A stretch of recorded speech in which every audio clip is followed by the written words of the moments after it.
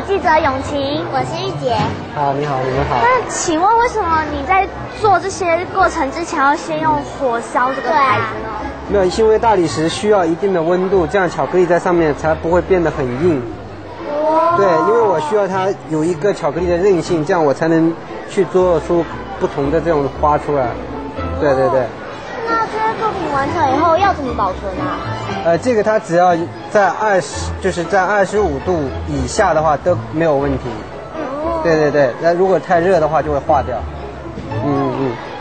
那你觉得在做这个巧克力花最困难的地方是什么呢？就要控制它的这个厚薄度啊，然后和温度是最关键。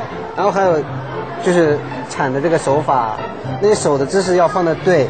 手的力度要对，才能铲得出来。这个手对，这样压住，对，这样子，不要不要抬起来。这个手一起往前走，好，嘿，这个手不要往前，对，这还是很难哈。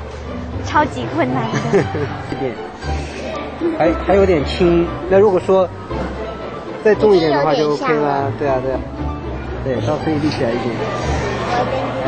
看别人做巧克力艺术品很漂亮，自己动手做才发现，真是一点都不简单。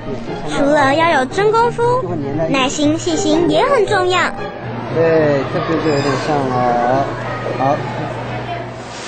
刚刚看师傅在做巧克力画的时候，看起来真的好简单哦。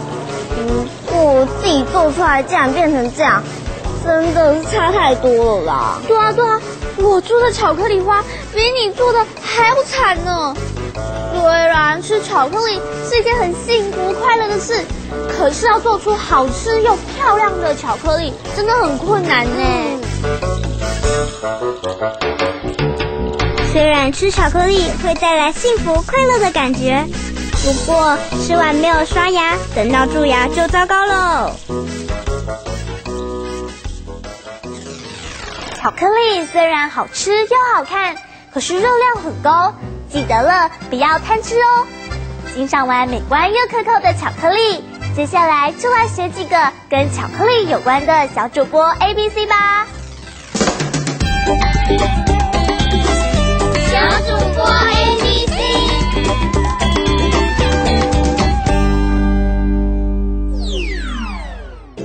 完了以上的报道，让我们来认识几个实用的 A B C 吧。巧克力是可可做成的。Chocolate is made from cocoa。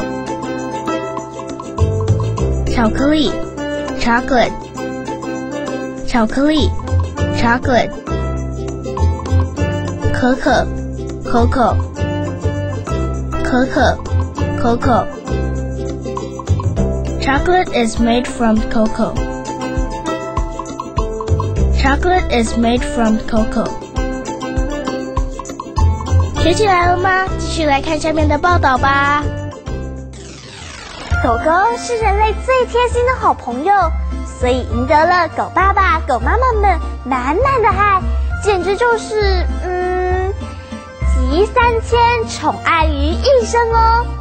所以，一些爱听音乐的狗爸爸、狗妈妈们也认为，他们的宝贝想当然尔也一定会爱听音乐啦。于是，今年六月就在澳洲雪梨举办了世界第一场狗狗户外音乐会，赶快一起去看看，狗狗真的爱听音乐吗？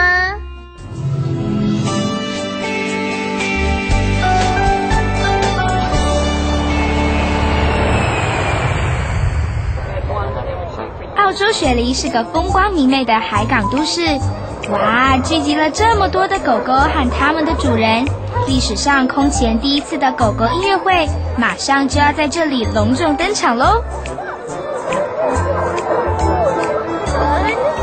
这场别开生面的狗狗音乐会在雪梨歌剧院的户外广场热闹举行，现场数百只狗狗在主人的陪伴下盛装出席，哇！个个花枝招展，看起来非常兴奋哦，好像也很期待这场音乐响宴呢。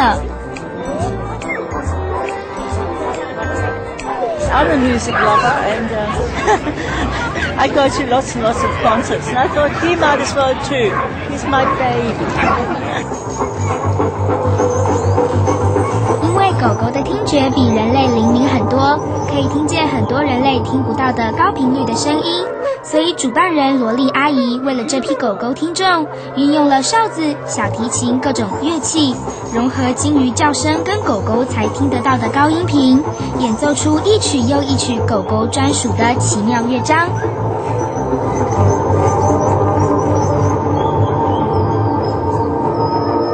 看狗狗们嗨得摇起尾巴，汪汪叫，当起合唱天使。这场音乐会应该很成功吧 ？fantastic, and um, it's it's it's great. It's testament really to Laurie and, and, and her reputation um, and the organisers of the of the event. But it's um, it's it's fantastic, and there's been no no no problems with the dogs. So every, everyone's been responsible. 音乐会顺利的结束了。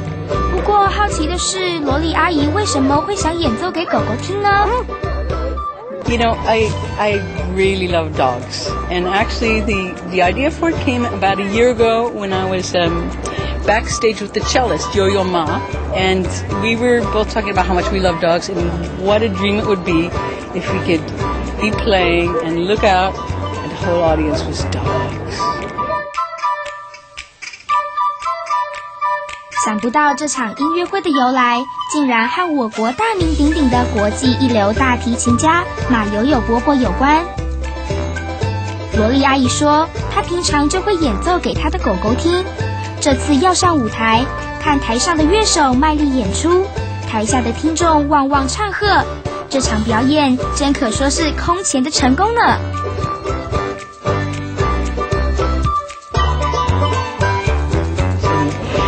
Was a treat. It was so fantastic. All the dogs were um, really grooving on the music. You know, they really seemed to enjoy themselves.